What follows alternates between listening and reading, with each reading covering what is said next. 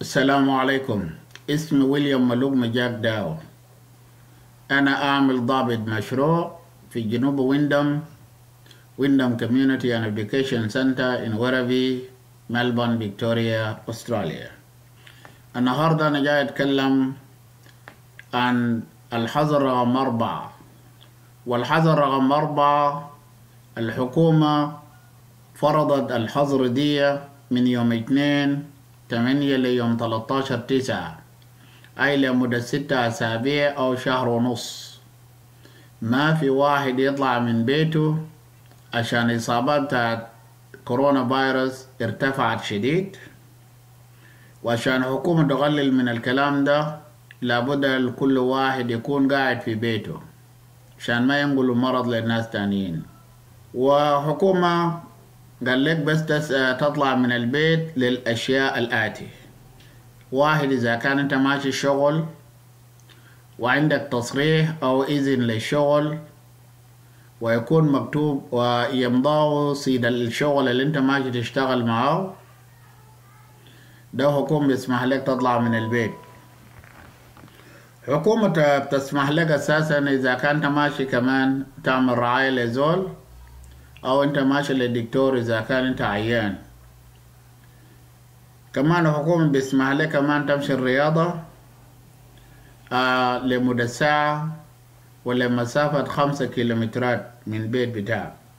كمان الحكومة بيسمح لك كمان آه تطلع من البيت إذا كنت ماشي للرياضة آه إذا كان عندك طفل صغير ما في زول يقدر يشوفه أنت بتشيله معاه. حكومة بيقول لك كمان لما تطلع من البيت وأنت ماشي للرياضة أو ماشي السوق لازم تلبس كمامة. كمان ما يكون في أكثر من نفرين لو أنت طالع للرياضة تكون أنتوا نفرين بس. حكومة بيقول لك كمان لو أنت ماشي تشتري الأكل ممكن تمشي الدكان لمسافة خمسة كيلومترات تشتري الأكل. ولو الدكاكين أو السوق بعيد منكم أكثر من خمسة كيلومترات أمشوا واشتري الأكل. لكن لكل الناس الموجودين في البيت نفر واحد بس يا بيمشي يمشي يشتري الأكل للناس البيت في يوم. حكومة كمان بيسمح لك كمان أنا أساسا الدكاكين بتاع الأكل مفتوحة مطاعم ومقاهي مفتوحة للوجبات السريع ما في زول بيمشي بياكل فوقه. تمشي تطلب الأكل وتمشي على طول. كمان بقول لك أماكن تعبية بتاع الخمور. محل بيبيع فيه مريسة أو الكحول. برضو مفتوح تمشي تشتري وتجي راجع. وكمان لو كان عندك أولاد صغار زي ما قلت لك قبل ما يبقوا في البيت برام ممكن تشيلهم عيال صغار. حكومة بيقول لك كمان لو عندك زول ده توصل الشغل وتجيبه من الشغل لأن الزول ده ما عنده رخصة أو ما بيقدر يسوق بشيل من آه خد صورة بتاعت إذن الشغل في العربية معاك. عشان لو بوليس سألك أنت توريه إذن بتاع الشغل بتاع الزول اللي أنت ماشي تجيبه أو أنت ماشي توديه الشغل. حكومة بيقول لك كمان لو أنت شعرت أنت بقيت عيان أمشي للكشف. وإذا الكشف بتاع الكورونا طلع أساسا أنت مصاب ألزم البيت. ولو داير أي مساعدة أنت تتصل بالتلفون دي اللي هو واحد تمانية صفر صفر تلاتة تسعة تمانية ستة سبعة خمسة. أخواتي والأخواني دي الحاجات المسموحة للحكومة قال لك انت بتقدر تعمله. وحسي جايين للنمرة اتنين الحاجات الغير مسموحة.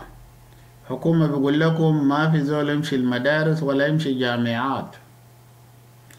لأن الجامعات والمدارس كلها مقفولة. والتعليم في انترنت أونلاين. ده التعليم الموجود هسه حاليا. وكمان الحكومة بيقول لك ممنوع واحد يمشي لصيد بتاع الأسماك أو لعبة بتاع الجولف أو لعبة بتاع الكورة أو نشاطات الرياضة الأخرى كلها ممنوعة حكومة كمان بيقول ما في زول يعمل حفلة بتاع الزواج وإلا بإذن خاص أو في حالة خاص. في المدارس الأولاد اللي بيمشوا المدارس فقط ده إيال الناس الشغالين. وعيال بتاع الناس العيانين اللي هو أبوهاتهم ما قادرين يشوفون في بيوت. دي الناس ممكن يمشوا المدارس فقط والمدرسين يشوفوا الأولاد ديل في المدرسة.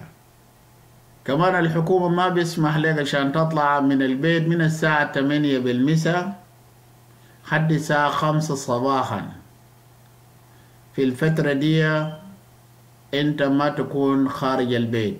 لو لقوك خارج البيت الحكومة بغرمك البوليس منتشر في كل مكان.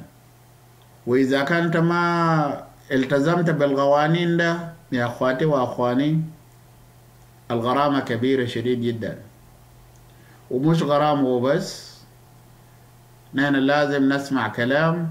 ما نخالف قوانين بتاع الحكومة. لأن الحكومة عملت هذه القوانين لحماية بتاع المواطنين لحمايتنا عشان نكون ناس كويسين وما عيانين وده أنا بخليكم في رعاية الله ونشوفكم بالسلام. شكرا.